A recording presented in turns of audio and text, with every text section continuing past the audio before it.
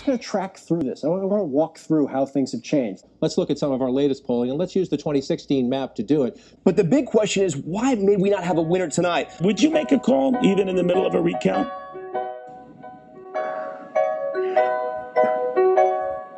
Why do nerds suddenly appear every time elections here?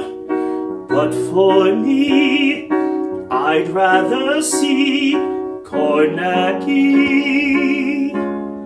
Network stars trying to explain, but for me, I'll abstain. I believe and trust only Kornacki. On the day that he was born, the together, decided to make a khaki clad man. So he's at the big board explaining poll numbers like only Kornacki can.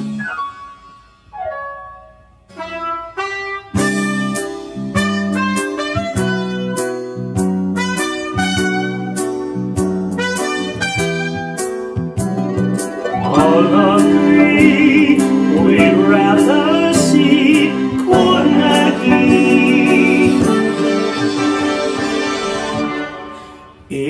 he fed? Is he getting sleep? Please don't think I'm a creep. But for me, I love only Kornacki. all can see I love only Kornacki.